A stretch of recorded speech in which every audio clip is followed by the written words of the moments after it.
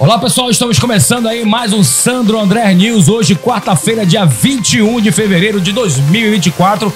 E nós continuamos aí com o nosso material. Estamos trazendo aqui, fazendo a primeira vez aqui as nossas entrevistas e o nosso podcast. Trazemos aqui o nosso convidado especial, Raimundinho, Raimundo Concursado, conhecido assim, né? Tradicionalmente aqui em Tucuruí. E aí tem uma denúncia muito grave aqui sobre os consignados dos funcionários da prefeitura. Nós vamos bater um papo aqui e trocar uma prosa aqui sobre este assunto que está acontecendo aqui na cidade de Tucuruí. Estou aqui também com meu pai, o nosso consultor do jornal aqui, o jornalista Biratã Filho. Prazer enorme, Biratã, estar aqui com você. E nós vamos começar aqui com o nosso amigo Raimundinho, secretário-geral do Sindicato dos Funcionários Públicos de Tucuruí. Raimundinho, traga aí à tona o que, que está acontecendo. É, é uma honra, Sandro, é, ser entrevistado por você, pelo Bira, aqui é, na nossa cidade. É, na realidade, o consignado dos servidores públicos municipais de Tucuruí se tornou é um pesadelo na nossa vida financeira, né? A administração aí do Alexandre Siqueira mais o Jair Holanda é, vem descontando na folha de pagamento dos servidores públicos e não estão repassando os valores descontados dos consignados para os bancos que os servidores é, adquiriram esses consignados. Raimundo, Raimundo é, dentro dessa situação, isso é uma, já é uma luta antiga de vocês e com isso o grande prejudicado tem sido realmente os servidores públicos. O que que acontece a partir do momento em que o prefeito ele desconta do, da, do, dos, dos servidores os valores no repasse do banco, o que que acontece com os servidores, no modo geral? É, o servidor ele é penalizado, eu sempre digo o seguinte, duas vezes. Uma é, quando a gente vai adquirir os, é, o consignado, a gente paga aquela taxa de juro. E depois, quanto sociedade, que nós fazemos parte, a gente paga o juro do atraso desses consignados que a prefeitura não repassou. Fora isso, ainda temos os problemas do, da questão do CPF estar tá com score baixo devido a essa situação que hoje é, já tem, por exemplo, só da Caixa Econômica, é, mais de nove meses atrasado é, os consignado que foi descontado dos servidores públicos. E qual foram as providências tomadas até agora? É, a Caixa tomou as providências em 2023, ela judicializou ju, é, outubro, novembro, dezembro de 2022 e janeiro e fevereiro de 2023, que veio combinar agora com uma sentença do magistrado Diogo, obrigando a prefeitura a pagar 4 milhões e 704 mil reais, né? Desses valores que foi descontado na folha de pagamento e não foi repassado.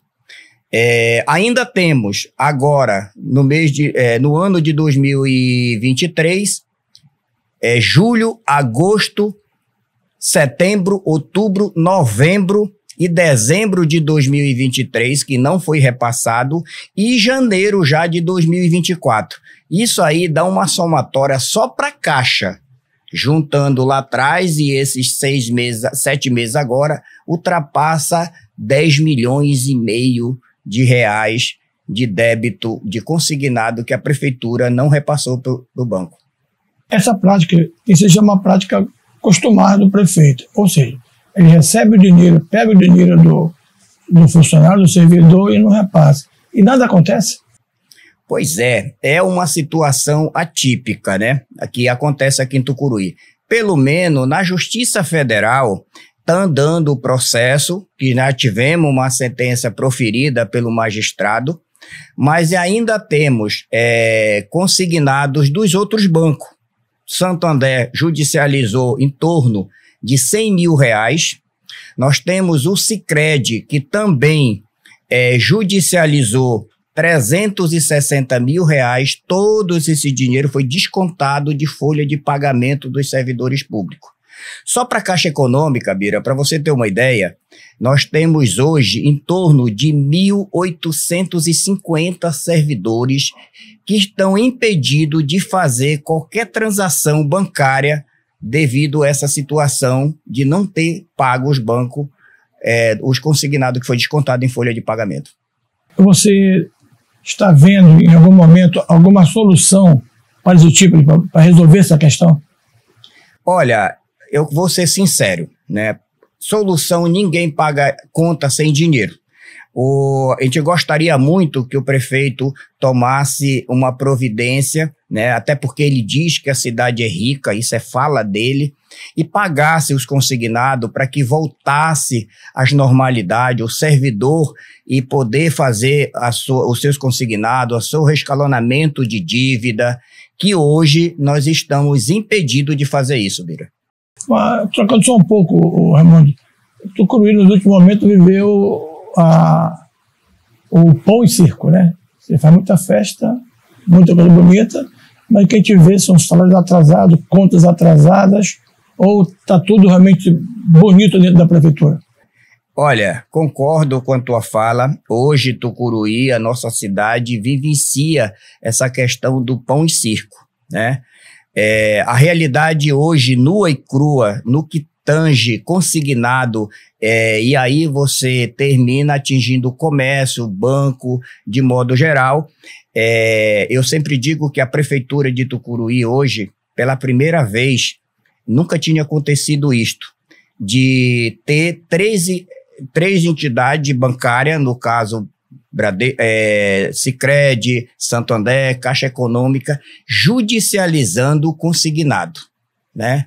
Então, hoje, a administração do prefeito atual, né, que está aí, transformou a prefeitura de Tucuruí numa entidade caloteira nesse contexto do consignado. Eu não vou entrar nem no mérito de outras situações que tem, né?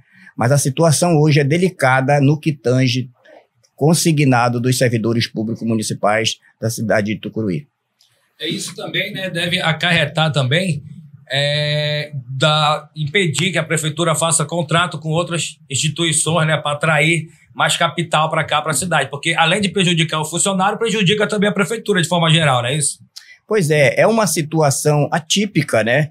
Que vem ocorrendo na nossa cidade. É, termina nós, quanto servidor, que eu falei anteriormente, pagando duas vezes o juro. A gente paga o juro quando vai adquirir o consignado no banco e pagamos o juro do atraso dos consignados que a prefeitura não repassa para os bancos. Certo. É, então é uma situação aí, né, que a gente fica verificando que é uma situação burocrática. Então nós pedimos aí encarecidamente, né, que o prefeito Alexandre Siqueira, nós não estamos aqui para falar da pessoa Alexandre Siqueira, mas da administração e da gestão e desses fatos que estão acontecendo com os funcionários públicos. Trouxemos aqui né, o nosso amigo Raimundinho, que ele que é o responsável aí, que está nessa luta aí faz tempo, né, Raimundinho? Está é, nessa luta aí com esse negócio desses consignados, é isso? É, sem sombra de dúvida. É, nós fomos eleitos em 2013 como vice-presidente, na chapa que o Miranda era o presidente. Fomos reeleitos é, em 2016, vice-presidente assumi a presidência em 2017 do Sindicato dos Servidores Públicos, SISMUT, e em 2021 nós fizemos uma chapa e fomos eleitos, e hoje eu, eu estou exercendo o cargo de secretário-geral do Sindicato dos Servidores Públicos Municipais de Tucuruí. Tudo bem. Ramudinho, é uma honra recebê-lo aqui no nosso programa, o Sandro André News, né? Estamos sempre no ar aí trazendo as principais notícias. E trouxemos aqui o Raimundinho e o nosso consultor, o Biratã Filho, também, para nos. E nós estamos com o canal aberto aqui para você, viu, Raimundinho? Quando você quiser vir aqui, trazer a sua a presidente também do sindicato para gente conversar sobre isso e para ver se o prefeito Alexandre Siqueira possa resolver isso da melhor forma possível para que ninguém fique no prejuízo, né? Se você tiver alguma coisa mais a esclarecer, fique à vontade. Não, eu que agradeço, né? Ser entrevistado por você, pelo Bira, que é um ícone no nosso meio aqui na parte jornalística. É, é uma honra, tá? De estar aqui com vocês e ser entrevistado no dia de hoje. Quer fazer mais alguma colocação aí, sobre? Não, realmente só vamos torcer, né? Para que pelo menos nós estamos no período eleitoral, né?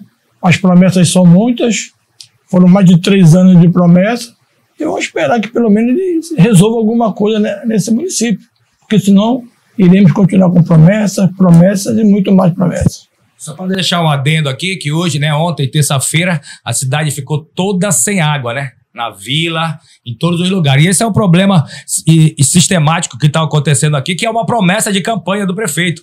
Que esse problema já vem, já inaugurou, já prometeu e a cidade continua sem água. Espero, né, que essa, esse, esse que eles pararam a terça-feira, né, para consertar, que possa realmente seja um conserto substancial, que não seja mais um paliativo da água que o povo de Tucuruí, fora isso, né, vem sofrendo de muitas outras calamidades e de saneamento básico. Vamos ficando por aqui, voltamos a qualquer momento com o Sandro André News.